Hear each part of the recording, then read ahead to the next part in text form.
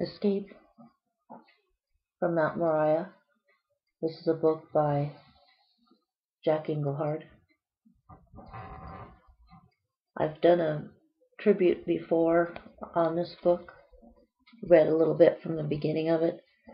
I read a little from the uh, descriptions on the back and the introduction. This time I'd like to read the whole story of my father Joe. Here's my little book marker which gives a advertisements for some of the part of my life that supports reality for me. So I'll read uh,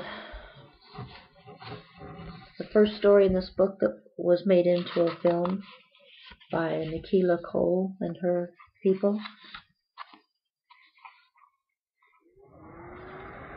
Story is titled My Father Joe. I'll try to read it without stumbling around too much. I just wanted to pay tribute to this. I think the book is special enough and the story is that it deserves the little bit of extra attention that I'm wanting to give it.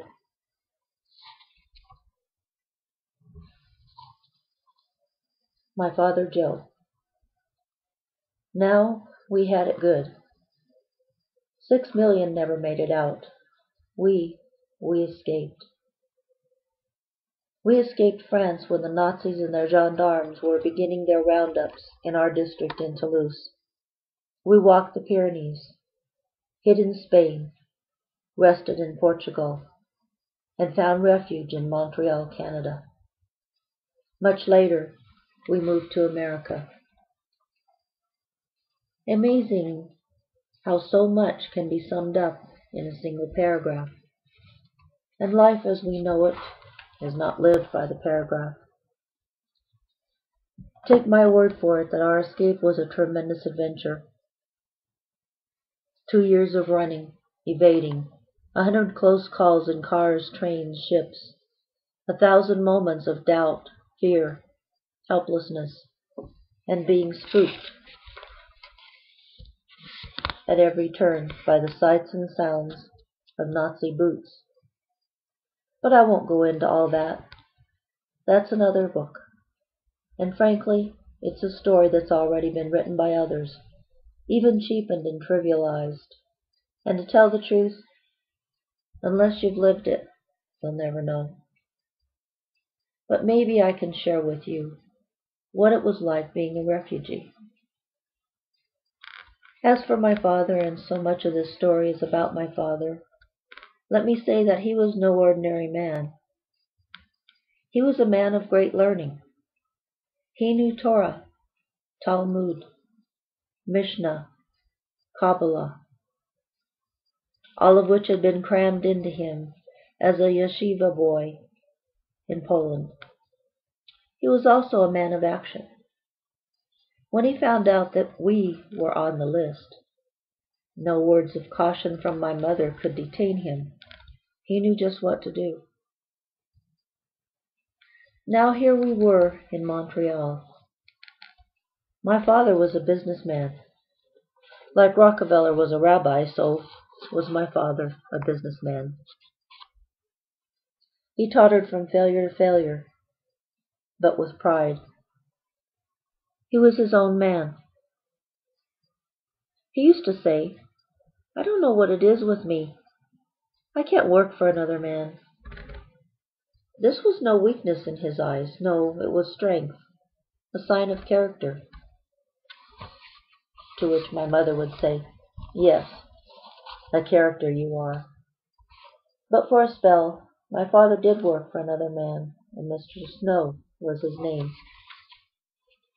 Mr. Snow was a handbag manufacturer.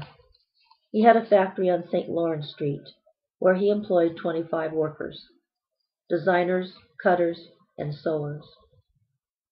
In Europe my father had had a handbag factory of forty workers, or fifty, or sixty, or maybe a hundred.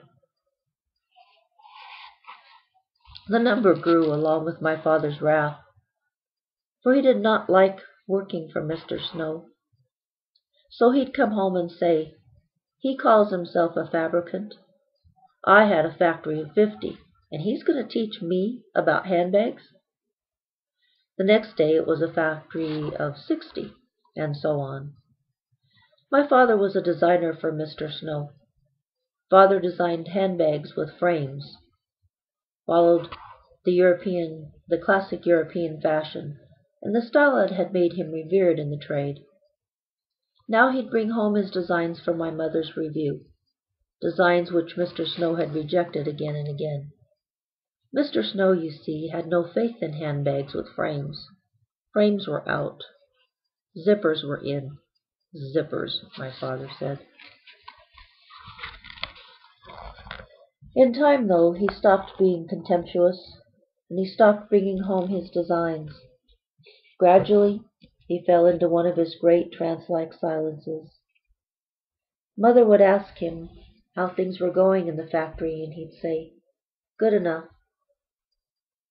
She'd ask him why he stopped bringing home samples. He'd respond by staring off in the distance. And I never knew what he saw there except Abraham, Isaac, and Jacob. He lived more in their world than in his own. Naturally, one day he forgot his lunch bag. Go bring this to your father, my mother said. I walked past the St. Lawrence Street grocery stores, butcher shops, kosher bosher, bakeries, and everything that was retail and wholesale. Further up, factories had been turned into tenements, tenements into factories. And in such a place, wrapped from top to bottom, worked my father. Approaching the landing, you could hear the roar of sewing machines. Closer, you smelled the adhesives and the leather. Inside, I did not know where to begin.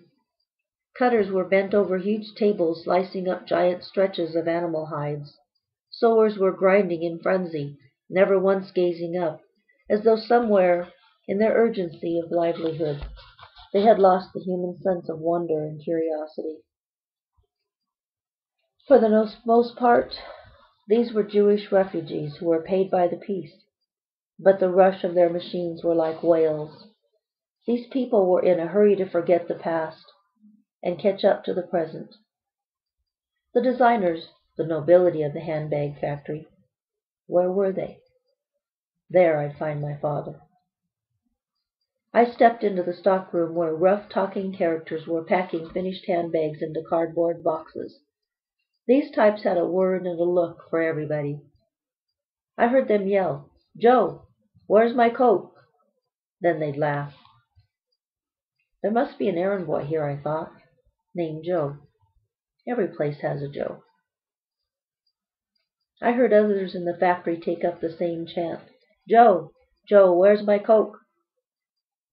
This Joe, some joke he must be. Then I saw my father. He was carrying a tray of cokes, but not moving fast enough. Over here, Joe, attaboy.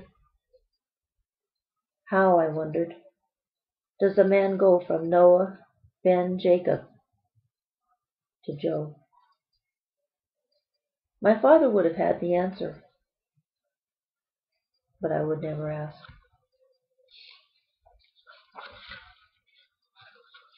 The next story you probably want to read all of these. I recommend them, of course. Penn Station. That's a story about his mother, and it's very. Just all these are very sensitive and worth the read.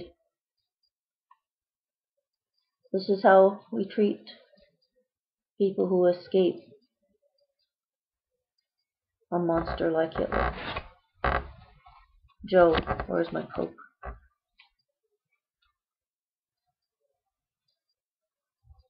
A child